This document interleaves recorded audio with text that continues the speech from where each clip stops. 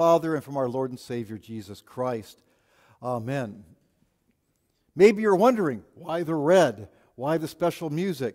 It's Reformation Sunday, where we celebrate the uh, uh, Reformation of the church that Martin Luther started back in 1517 when he nailed the 95 Theses on the uh, church door in Wittenberg, Germany, and started quite a mess throughout Europe in reforming the church. And that word reform, what does it mean? It means basically to change, usually for improvement is something reformed. And in Luther's case, it was changing some of the teachings of the church at that time, which weren't really good practices there, especially reforming it from the selling and buying of something called indulgences. Indulgences were basically pieces of paper that people could purchase from the church that would be like a kind of get out of hell free card or to get you out of years of suffering in purgatory. And also, Luther was against the viewing of relics, that you could go to, to see and worship old items that had to do something to do with the apostles, like a piece of their fingernail or some of their hair, stuff like that. People could go and see these things, and you would get more pieces of paper that would say, You get out of hell free, kind of card here. And basically, what Luther was trying to change was the idea that you could purchase or, or get on your own your salvation. And this was all prompted, first of all, by Luther's own personal reforming, his, his changing. See, because Luther was a, was a Roman Catholic monk and he struggled painfully under this delusion that forgiveness had to be earned, that money or pious acts or even self inflicted punishment that would satisfy God's demand that people be righteous.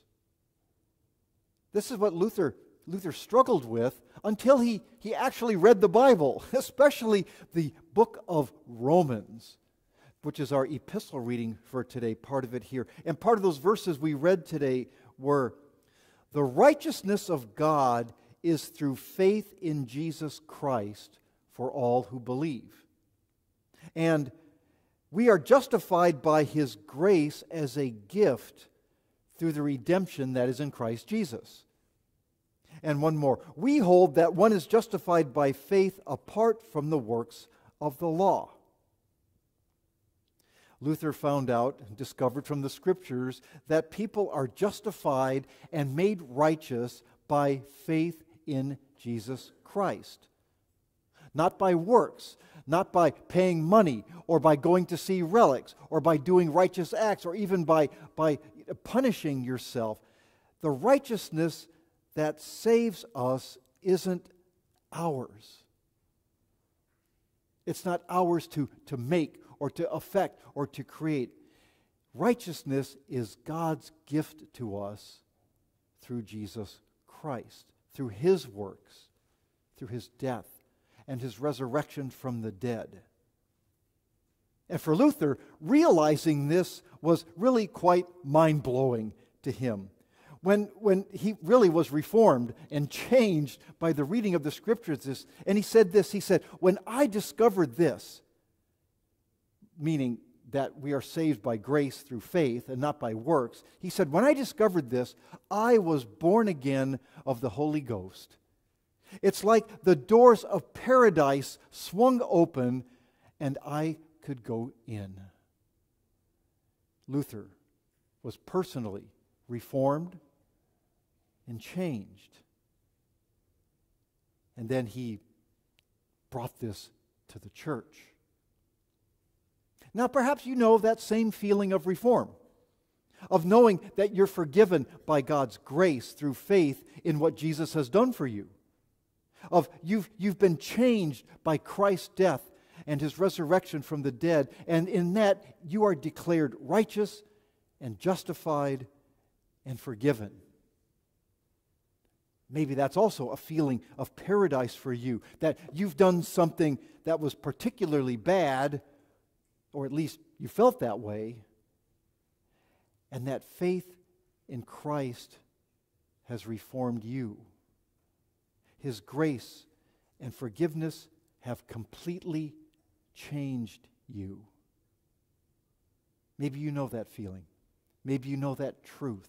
That whatever you've done, no matter how bad it was or how even bad it seemed, that God's grace and forgiveness are yours in Christ. And they have reformed you, changed you, and forgiven you. Well, in our world today, there's a lot of talk about reforming things healthcare reform, tax reform, Social Security reform, finance reform, immigration reform, all kinds of form reform that, that the government is trying to do. But there's also personal reformation, personal reforming, working out, various diets, yoga, therapy, counseling, all ways of change, hopefully for improvement. And people like to reform things in their lives. They like to reform their finances or their careers, maybe some relationships. But reform sometimes isn't always for improvement.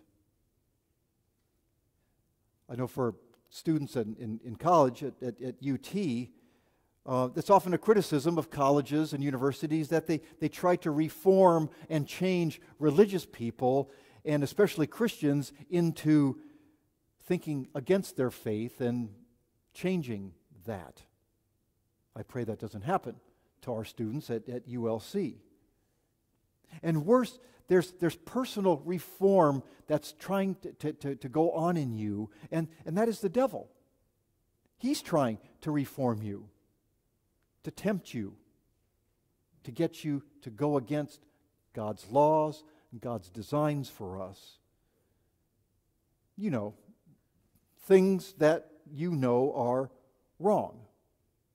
But the devil tries to reform that. He tries to reform your thinking about sin, and he gets you to think, no, it's okay. Know, it's not that bad. It's not hurting anybody. But even when we know how it works, sometimes we still fall for it, don't we? We still fall for the devil's lies and his temptations and his attempts to reform us.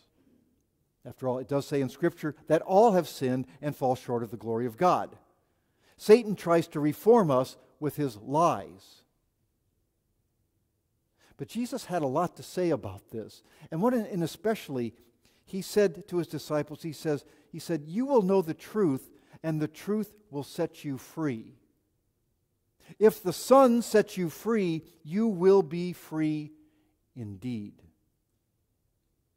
How true that is. That we have been changed. We have been reformed by Christ. We've been set free from the devil's attempts at reforming us. You are free in the forgiveness of Christ. And in Christ, you truly are free. You, you are reformed, if you will, by His love and His forgiveness for you. In your, in your, in your, your natural life, and we even say this in the, in, the, in the confession, we are by nature sinful and unclean. But you've been reformed, you've been changed. At times, I know it's hard to accept or feel changed by Christ or feel free in his forgiveness, but you are. But you know that there are things in your life that still need reformation. There's changes that you need to make, and maybe some of those are on the spiritual side of your life, things, things that you need to leave in God's hands for Him to reform you.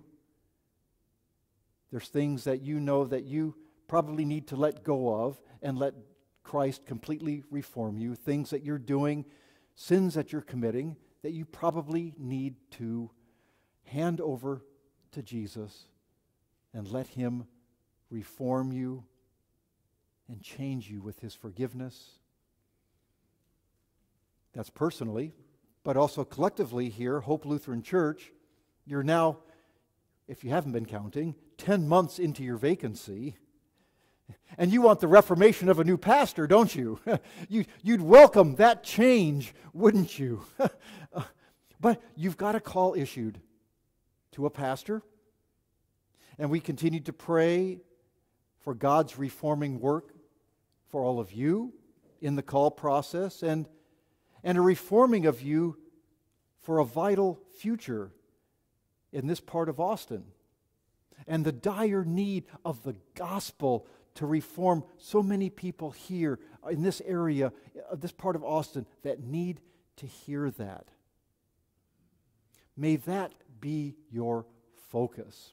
Now, 10 months in and have a call issued, may that be your focus and, and rejoicing in God's reforming of you and that God's reformation that you can offer to others outside of this building and inside of it too, right?